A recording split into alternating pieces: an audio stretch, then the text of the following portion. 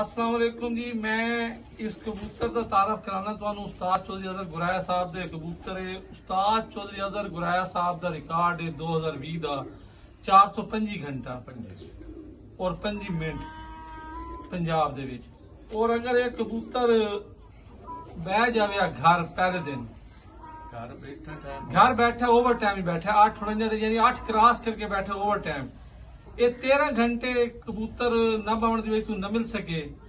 ਉਸਤਾਦ ਚੌਧਰੀ ਅਜ਼ਰ ਗੁਰਾਇਆ ਸਾਹਿਬ ਆਪਣਾ ਸਨ 2020 ਦਾ ਰਿਕਾਰਡ ਆਪ ਤੋੜ ਦੇਵਾਨਾ ਘੰਟੇ ਹੋ ਜਾਵਾਨਾ 403 ਹੁਣ ਇਨ 417 ਇਸ ਓਵਰ ਟਾਈਮ ਕਰਨ ਵਾਲੇ ਕਬੂਤਰ ਦੀ ਜਨਾਬ ਵੀਡੀਓ ਬਣਾਣੀ ਹੈ।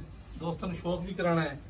ਬੜਾ ਹੀ ਬਹਾਦਰ ਕਬੂਤਰ ਹੈ ਮਾਸ਼ਾਅੱਲਾ ਕਿ ਜਿਸ ਨੇ 8 49 ਦੀ ਪਰਵਾਹ ਦਿੱਤੀ ਹੈ। ਔਰ ਲਾਲੇ ਮੌਸਮ ਦੇ ਘਰ ਦਾ ਔਰ ਇਹ ਚੌਧਰੀ ਮੋਹਸਨ ਮੜਾਇ ਸਾਹਿਬ ਦੇ ਘਰ ਦੇ ਨਾਲ ਬਲਵਾਰਾਂ ਦੇ।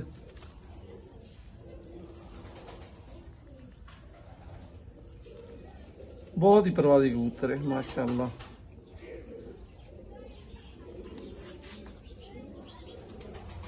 ਨੌਵਾਂ ਜੀ ਪਰਵਾਹ ਦੇ ਦੇ। ਤੇ ਵੱਡੇ ਜਿਹੜੇ 4-5 ਜੋੜੇ ਨੇ ਹੁਣ ਚੌਧਰੀ ਆਸਮ ਲੈ ਕੇ ਘਰ ਟੁਰ ਗਿਆ ਹੈ। ਅੱਛਾ ਇਹਦਾ ਮਾਪ ਵੀ ਚੌਧਰੀ ਆਸਮ ਚੱਦੜ ਲੈ ਕੇ। ਮਾਸ਼ਾਅੱਲਾ ਜੀ ਮੁਬਾਰਕ। ਠੀਕ ਹੈ।